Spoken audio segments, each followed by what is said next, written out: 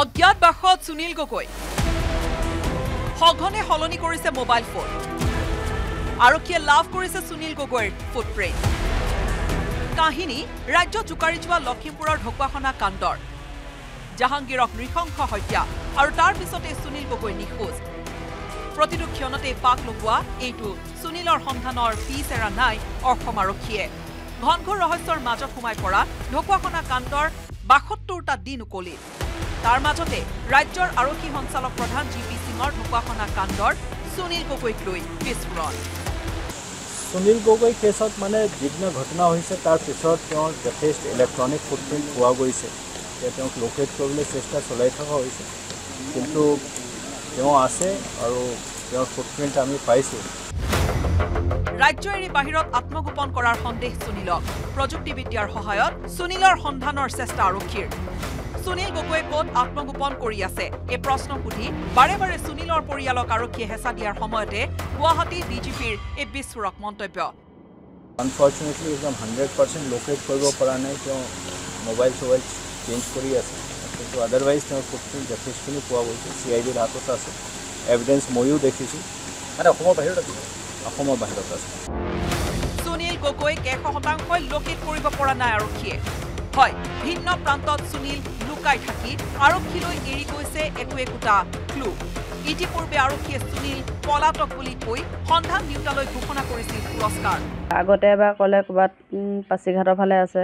এতিয়া ক'লে অসমৰ বাহিৰত আছে আৰু মোবাইল সলাইছে বুলি কৈছে। তেওঁলোকে ইমানখিনি তথ্য পোৱাৰ পিছতো মানুহজন উলিয়াব নোৱাৰাটো দুখৰ কথা। নিজেই ক'ৰবাত লুকুৱাই ৰাখিছে যেন পাওঁ মোৰ কাৰণ কিয় তেওঁলোকে যদি ইমানখিনি তথ্য পায় আজিৰ দিনত উলিয়াব নোৱাৰাটো বহুত ডাঙৰ কথা হৈছে। সেইটো কাৰণে মোৰ তেওঁলোকৰ ওপৰতো সন্দেহ হয় আৰু তেওঁলোকে জীয়াই আছে বুলি কৈছে আৰু যেতিয়ালৈকে তেওঁলোকে মানুহজন উলিয়াই দিব নোৱাৰে মই তেতিয়ালৈকে মই কাৰো কথাত মই বিশ্বাস নকৰোঁ। ইতিমধ্যে সুনীল সন্দৰ্ভত চি আই ডিয়ে লাভ কৰা সকলো তথ্য ভালকৈ পৰীক্ষা কৰিছে ডিজিপিয়ে যদি সঁচাকৈয়ে বিজেপি কৰ্মী তথা জলসিঞ্চনৰ ঠিকাদাৰ সুনীল গগৈ জীয়াই আছে তেন্তে ঢকুৱাখনা কাণ্ডৰ ফাইল ক্লজ কৰিবলৈ আৰু কিমান সময় লাগিব আৰক্ষী report news eighteen Assam north east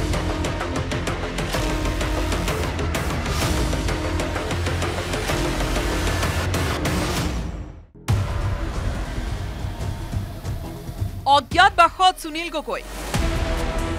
সঘনে সলনি কৰিছে মোবাইল ফোন আৰক্ষীয়ে লাভ কৰিছে সুনীল গগৈৰ ফুটপ্ৰিণ্ট কাহিনী ৰাজ্যত জোকাৰি যোৱা লখিমপুৰৰ ঢকুৱাখনা কাণ্ডৰ।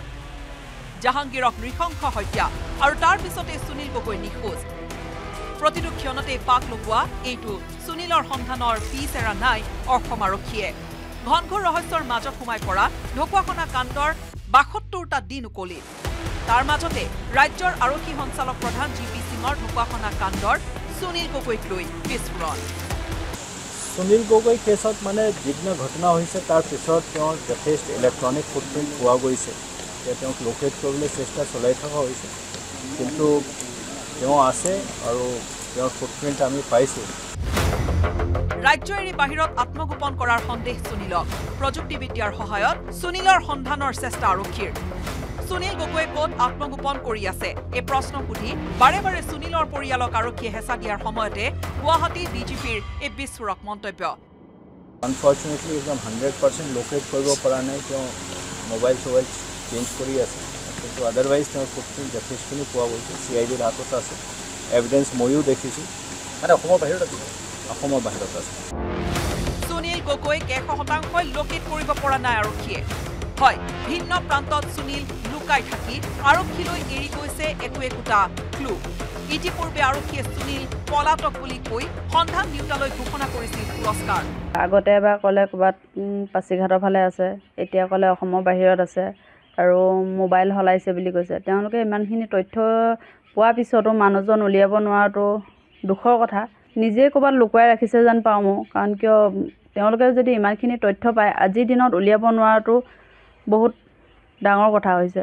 সেইটো কাৰণে মোৰ তেওঁলোকৰ ওপৰতো সন্দেহ হয় আৰু তেওঁলোকে জীয়াই আছে বুলি কৈছে আৰু যেতিয়ালৈকে তেওঁলোকে মানুহজন উলিয়াই দিব নোৱাৰে মই তেতিয়ালৈকে মই কাৰো কথাত মই বিশ্বাস নকৰোঁ। ইতিমধ্যে সুনীল সন্দৰ্ভত চি আই ডিয়ে লাভ কৰা সকলো তথ্য ভালকৈ পৰীক্ষা কৰিছে ডিজিপিয়ে যদি সঁচাকৈয়ে বিজেপি কৰ্মী তথা জলসিঞ্চনৰ ঠিকাদাৰ সুনীল গগৈ জীয়াই আছে তেন্তে ঢকুৱাখনা কাণ্ডৰ ফাইল ক্লজ কৰিবলৈ আৰু কিমান সময় লাগিব আৰক্ষী bureau' report news eighteen Assam